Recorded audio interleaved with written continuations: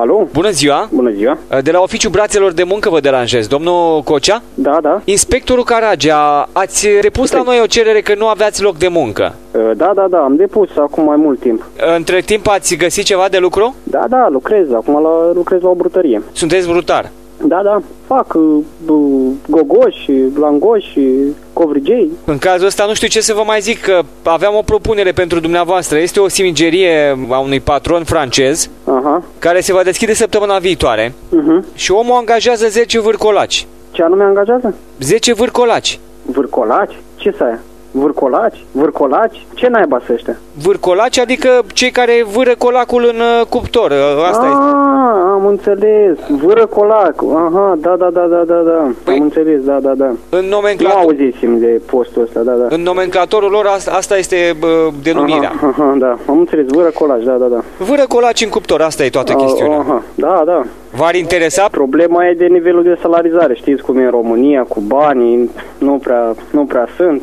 Asta este. Aveți salarii mici, nu? Ca mici, ce să zic eu. Mi-ați putea spune cam cât câștiga dacă nu e confidențial, deci pe mine nu mă interesează de- decât pentru a, o, ca o informație, ca să vă spun dacă Da. bă, e mai mare sau mai, mai mic. E, în jur de 5 milioane, hai să zicem.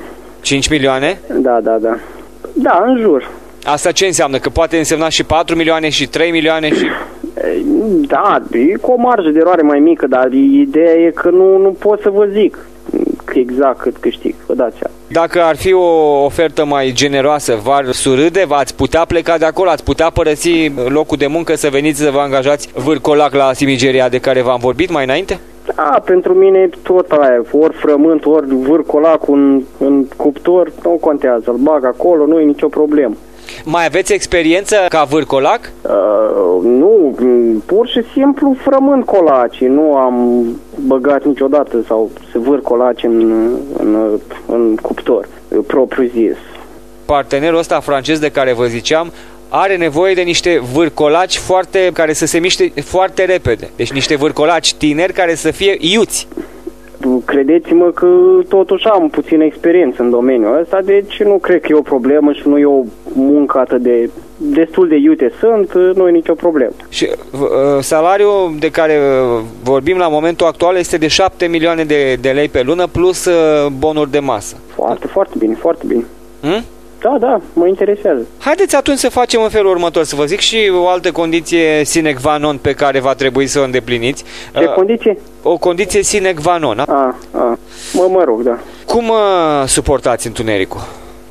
Îl suport bine, domnule, am o vârstă, n-am ce crezi că mi mai e frică de întuneric, nu are nicio problemă, tare miștit. Pentru că se lucrează doar noaptea, ziua dormiți și noaptea lucrați. Vârcolac pe timp de noapte. Păi și cum lucrezi, 12 ore noaptea sau cum? Nu, 6 ore. Aha, aha, 6 ore noaptea. Acolo de ce vă spun de întuneric? Pentru că în simigeria respectivă nu este foarte lumi- multă lumină. Da, nu e nicio problemă din partea mea, lucrez și pe întuneric.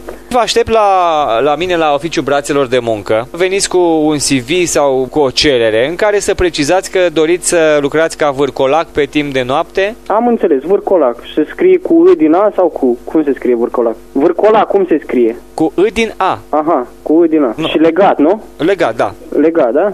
Deci am înțeles. Vin la dumneavoastră mâine. Ați înțeles la care oficiu? Da, oficiul brațelor de muncă. Pe cerere scrieți? Eu scriu vârcolac, deci eu m, scriu vârcolac, nu? Că asta, asta vreau să, să fiu, nu? Deja șase locuri le-am ocupat. Mai avem nevoie de încă patru vârcolaci. Aha, păi foarte bine. Deci Da. eu pot să fiu unul dintre ei, nu? Exact. Aha, bun. Daniel Buzdugan sunt de la Radio 21. A fost o farsă. La mulți ani de ziua dumneavoastră din partea soției. Ha, ha, leu. Și gai. Da, da, acum, da, acum m-am prins. Asta că arăt eu ei. Asta este. Vă mulțumesc și, și felicitări pentru emisiune.